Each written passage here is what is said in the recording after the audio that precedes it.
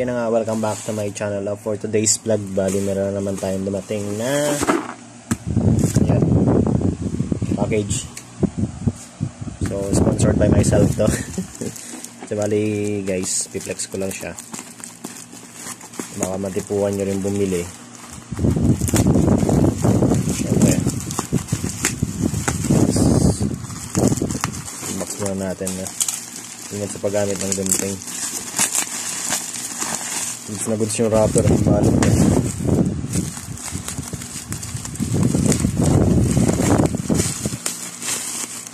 Ano bagong gastos na naman.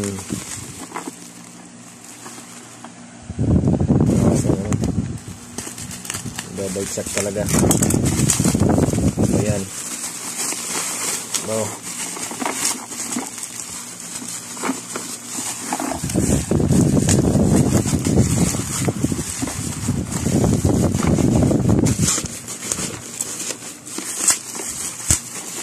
Guys.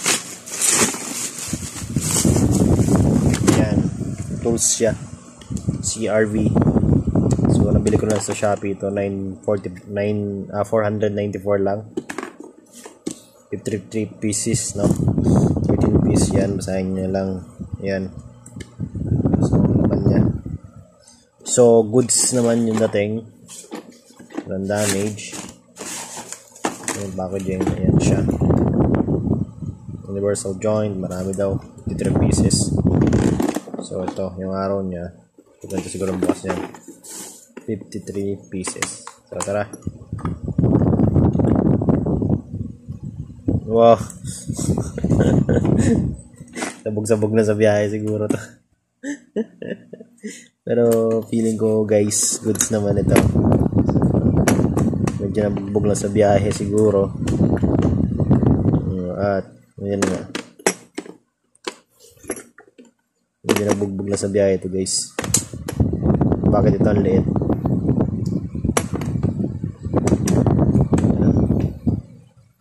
So, ayan siya. Yung quality niya siguro good naman. Meron siyang ano. Ayan, paka-ratchet na.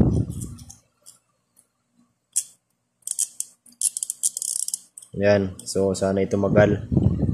Marami siyang gamit, guys. 53 pieces na. 12mm, 13mm, 14mm.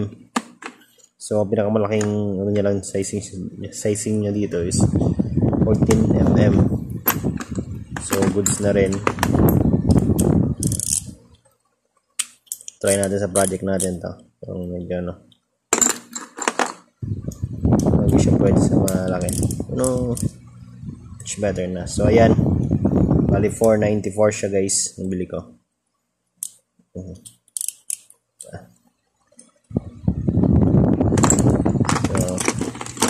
so okay naman siya. Packaging niya. Goods naman.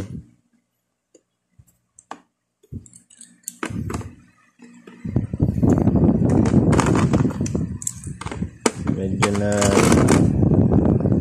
ano lang kasi nga sa biyahe nga. So ayan. Tingnan natin yung durability niya kung tatagal. So review ko lang guys pero goods naman yung packaging. Ganda. Sulit na siya sa 494 so 53 pieces na range may alin may bit hex pa. Ayan. Alin range kumbaga. So meron siya uh, sa ano screw. So all in all goods spinner handle yan yung ikot so thank you for watching and ride safe always. Godspeed